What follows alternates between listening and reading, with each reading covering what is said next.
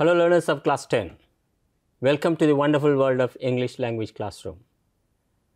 Learners, hope you are doing well. We have done a lot of lessons class 10. We are in the middle of the year. Today, learners, let's do a poem. It's part of the lesson 1, letter to God. So, let's let's have some questions to ourselves before we move on to read the poem. So, learners, I'm going to ask you some questions. Before that, let me introduce uh, Kriti today. Kriti, how are you? I'm good, sir. Thank Okay, you. okay. Uh, learners, uh, uh, there are some occasions we are happy, some occasions we are sad, Yes, and sir. some occasions we are angry also. So, how are you feeling today now? Sir, I feel happy today. Oh, oh, is there any reason for being happy? So it was a pleasant morning Hmm. and we just have festivities over. Fine, So all right, all right. Okay, celebrations, Yes. a lot of festivals. This is festival season also. Yes, Fine, sir. all right. Then you said pleasant morning. So, what makes you feel happy about the pleasant morning? So the sunrise, the flowers which shine in the sunrise in the morning Cool. gives me a pleasant.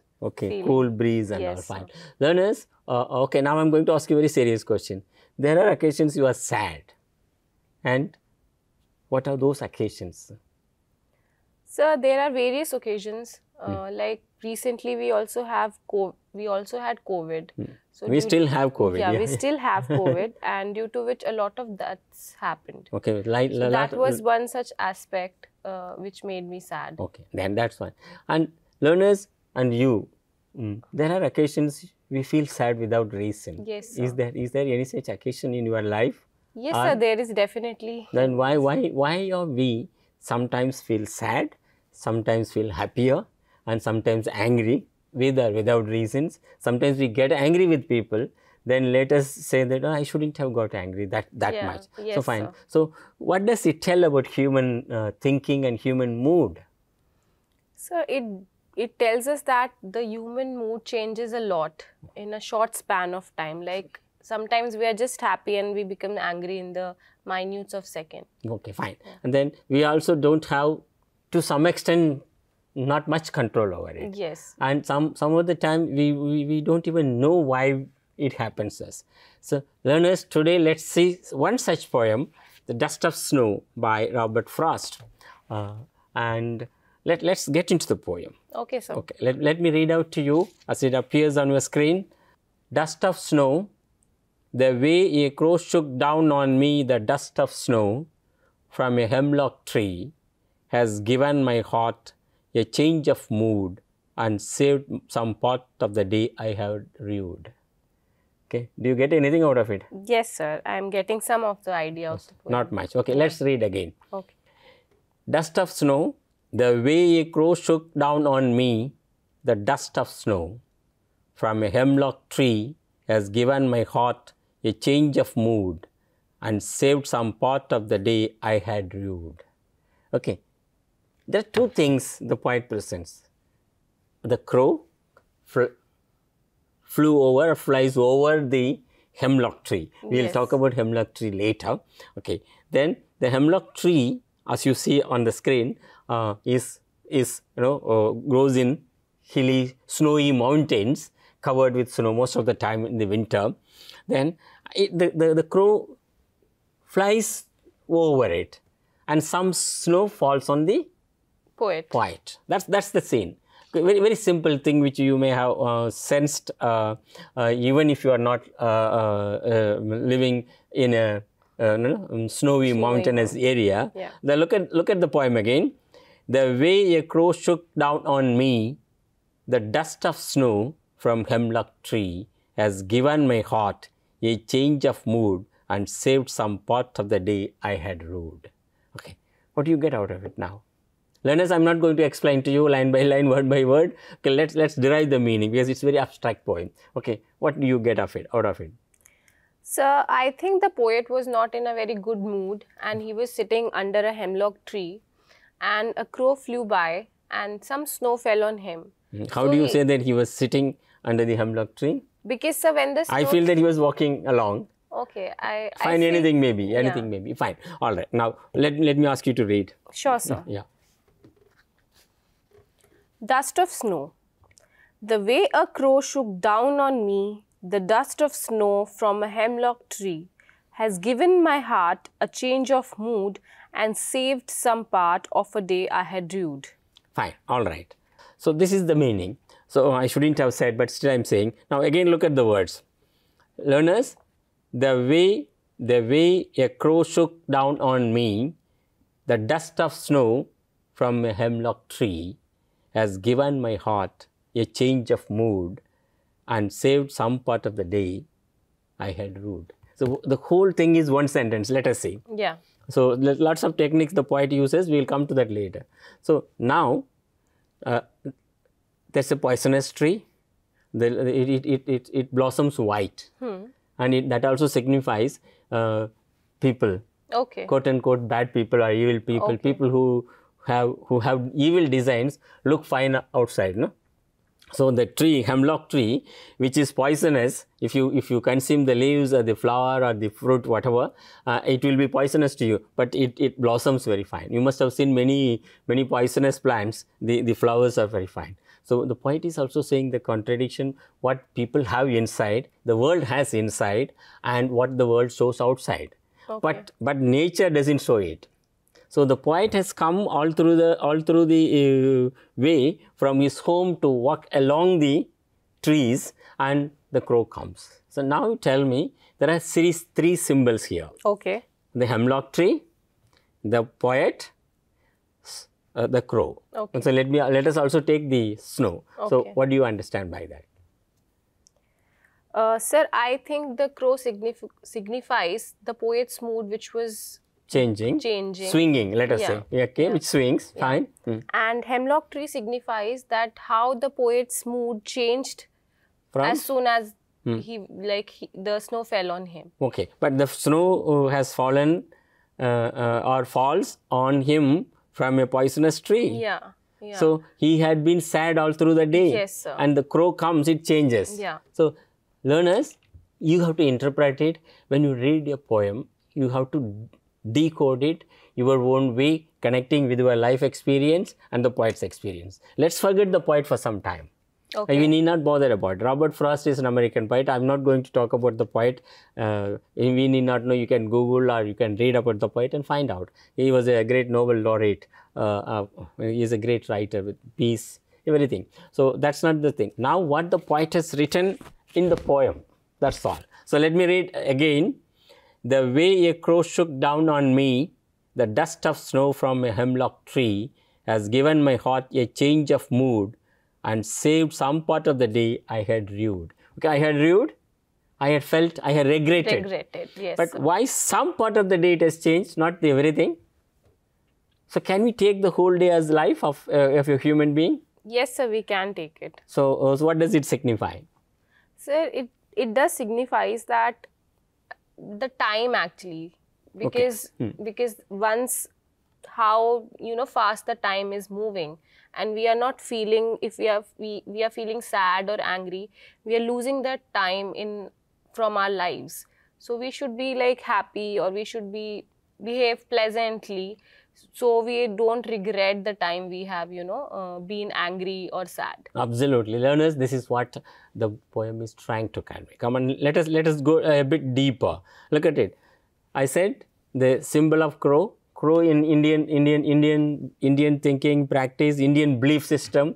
What does it? Do you know about it? In some parts of India and most part of India, uh, people believe that uh, crows are uh, the representations, symbolic representations, representatives of our ancestors, who passed away. Yes, sir. So in the, every every year we, we we remember our uh, people who ancestors who passed away.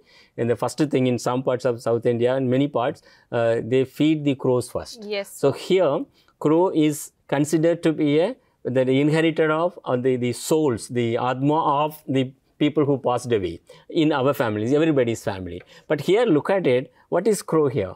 Sir, I think uh, the crow signifies the relevance of time. And change. Yes. Okay, and time and change. Yes, Where is it? Where is it? Which line? Sir, It, It it comes in first first line. first itself. line, the way a crow shook down on me. Why, why the poet says, he never said, a crow came and shook the tree. He said, the way, the way crow, the way a crow shook down on the dust of snow from the, from the hemlock tree. The way it shook, why? Is there a different way uh, uh, uh, the, uh, uh, each bird or each human shakes the tree or shakes something? So there might be there. I So- think there is. So the poet looks at uh, the way the crow shakes the tree. Yes, sir. That is so he looks he, he took it as a kind of change of mood. Yes, sir. So the way it took and and and look at it, the a change of mood and saved some part of a day I had rued. I, I had been regretting the, the small change, small. So let learners don't think that life is full of troubles. Kriti, Yes, uh, uh, li- li- life changes. Then the change is in you Yes. the, the, the crow may have brought it, but he took it. Okay, my mood changed. That's what. Now I'm going to ask you mm, mm, to do it here. Okay, uh, uh, uh, here, uh, the mood of the poet, how it changes, the before the crow, after the crow. So learners, let's let's uh, ask Kriti to write to the mood of the poet before the crow shakes the tree, hemlock tree, and how his mood changes. Come on, let me read out the poem again. Okay, sir. Dust of snow, the way a crow shook down on me, the dust of snow from a hemlock tree has given my heart a change of mood and saved some part of a day I had rued. Come on, let's write. Let's find how the mood changes. Okay, sir. Ah, there are some that are that are hidden. You'll have to unearth it. Right. Okay, come okay, on, sir. Come on, come on. So you draw a line. First mood at the point. Yes. Yeah. Mood at the point. Then before the shaking of the snow laden tree. So before. Hmm. After. Write bigger, yeah. Hmm. Let learners uh, see that. After. Okay. Now you'll have to find the words, phrases from the poem. Okay, come on. Okay, sir. So I will have to analyze the poem and write the What, words. whatever, whatever. Okay. And some some words from the poem itself. Yeah. Okay. Okay. Yeah. So, sir, uh, I will write down before the poet was in a very, uh, we can say, depressive mood. Fine. Uh, we can also say it was he was in a dark mood. Okay. Why? Winter, bitter. Yeah, bit, And and uh, let me tell you, learners, winter is considered to be the bitter bitter time, particularly in Europe, USA, the, the cold countries. But uh, some uh, somewhere in India, winter is considered to be much more pleasant, Pleasant, because yes. our summer was much hotter. Yes. okay, fine. So the bitterness, suffering, because food, the, the animals suffer, birds suffer, of course, and humans uh, ultimately. Now, a lot of technology, we are keeping ourselves comfortable. But that's what the poet is saying. A kind of depression develops during the winter. That's why uh, was it the poet, you know, Keats or Shelley. If winter comes, winter comes can Yes, some, the- spring be be, far be far behind. So spring also comes uh, soon after winter. Fine, Yes. all right.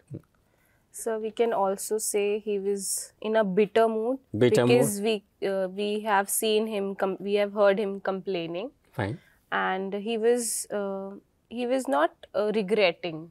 But he says, I had viewed. or- So it was after no, no. after the snow fell. Huh. Then he was regretting. no, no. let me let I me read out. Let me read out. Okay.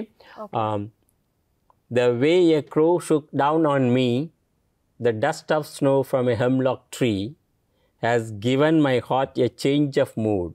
After the crow has crossed the hemlock tree, some dust of snow f- fell on him. Yes, then and saved some part of a day I had rued. Some part of the day has been saved now. The day I had rued, I was regretting. Okay, he was regretting. Regretting, So we can write he was regretful as well. Hmm. But after the fall of snow, I don't think he's very happy, but mood changed. Mood changed. Okay, I'm yes, giving sir. you clue for what Okay, happens after. okay. Okay. come on, right, So, right. sir, uh, we can say he became a little more um, conscious Fine, of the time. fine.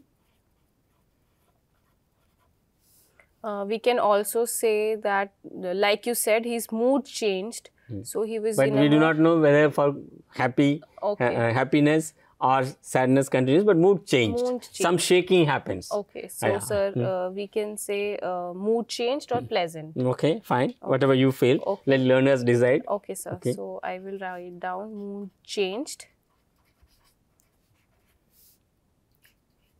Fine, not much to Yes, say. sir. Then now I'm going to ask you a question. Yes, sir. Who is responsible for the mood change of the mood of the poet? Fine.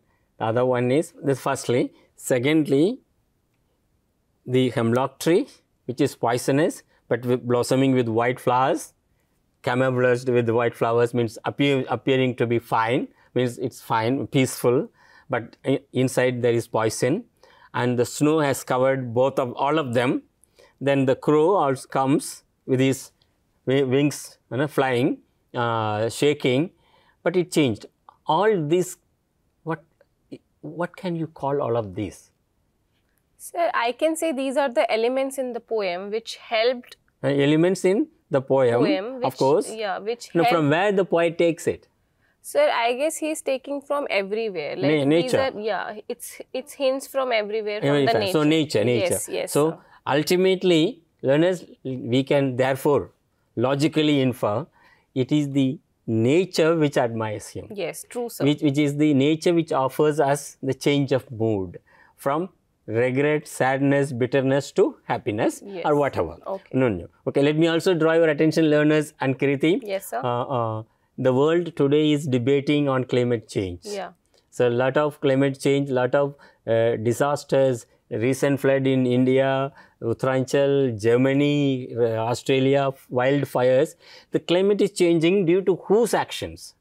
So our Uh, action. human actions. Yes, human so actions. So here the poet looks at the at, at the nature and the actions in nature that actually changes his mood from bitterness, sadness, regret to something else, if not complete happiness. Yes, exactly, But what sir. are we doing to nature? Is the question I'll let to you learners and Kriti. But uh, before we close the poem, some of the things we need to tell the uh, learners as well as we also have to learn. Okay. I would like you to read the poem again. Sure, sir. Dust of snow. The way a crow shook down on me, the dust of snow from a hemlock tree, has given my heart a change of mood and saved some part of a day I had rued. Fine, all right. Now, I'm going to ask you do you find any strange pattern in the sentence? Sir, I think they are short.